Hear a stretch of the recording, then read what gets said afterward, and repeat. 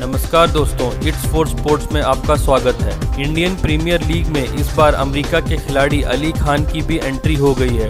Tournament के इतिहास में पहली बार कोई अमेरिकी खिलाड़ी खेलेगा पाकिस्तानी मूल के अली खान को इंग्लैंड के तेज गेंदबाज हैरी गर्नी की जगह टीम में शामिल किया गया है। इंग्लिश गेंदबाज गर्नी कंधे में चोट की वजह से आईपीएल से बाहर हो गए हैं। इसी की वजह से वह पिछले महीने इंग्लैंड की विटालिटी ब्लास्टर में भी नहीं खेले थे।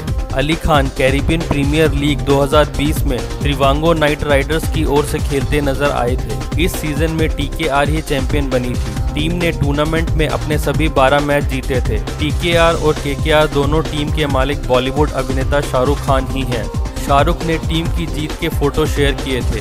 वहीं अली खान ने टीकेआर के ऑलराउंडर इवेन ब्रोवो के साथ फ़्लाइट के अंदर ली गई एक फ़ोटो शेयर किया था। उन्होंने कैप्शन में लिखा था, अगला स्टॉप दुबई। हालाँकि अली और ब्रावो आईपीएल में अलग अलग टीम से खेलेंगे। ब्रावो चेन्नई सुपर किंग्स के लिए खेलते नज़र आएँगे। अली ने सीपीएल के इस सीज़न में आठ मैच में सात डॉट तैतालीस की इकोनॉमी रेट से आठ विकेट लिए हैं। वह तीन साल से वर्ल्ड के सभी क्रिकेट लीग खेल रहे हैं। केकेआर की ओर से आईपीएल में पिछले सीज़न में स्टैंड बॉय के तौर पर शामिल हुए थे। अली खान की खास बात है कि वह 140 की रफ्तार से यॉर्कर डाल सकते हैं। अली खान का जन्म पाकिस्तान पंजाब के अटक में हुआ था। 18 साल की उम्र में वह माता पिता के साथ अमेरिका चले गए थे। अब वह अमेरिकी नेशनल टीम की ओर से खेलते हैं। उनकी ब्रावो से कनाडा ग्लोबल टी लीग में मुलाकात हुई थी। इसके बाद ब्रावो उन्हें सीपीएल में लेकर आए।